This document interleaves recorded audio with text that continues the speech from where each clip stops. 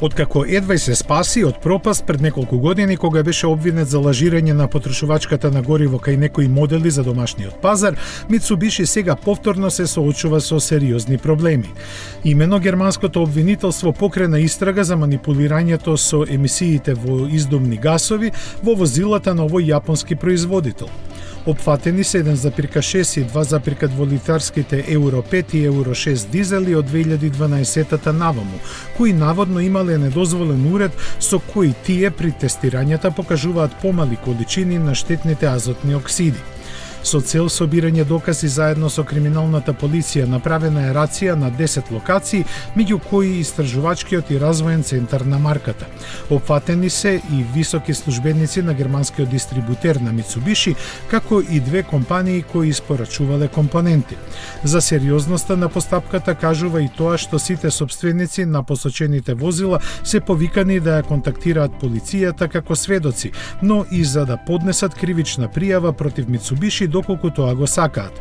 Според германското обвинителство, во овој момент не може да се предвиди колку ќе трае истрагата или пак колкави казни може да се очекуваат.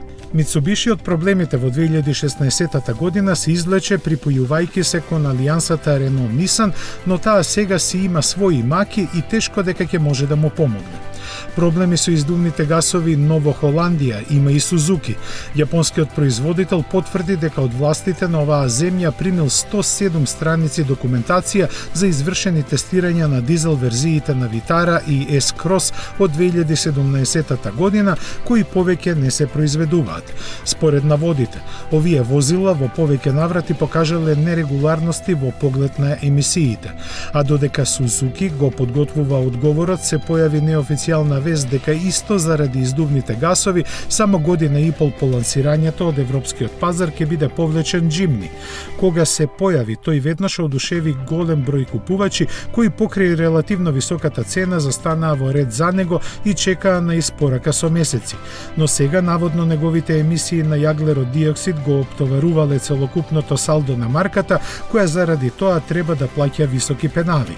Постои можност овој симпатичен мал теренец да се трансформира трансформира во доставно возило со N1 хомологација, бидејќи тие не влегуваат во математиката за просечните емисии. За судбината на Джимни сепак треба да се почека некакво официјално соопштение од Сузуки.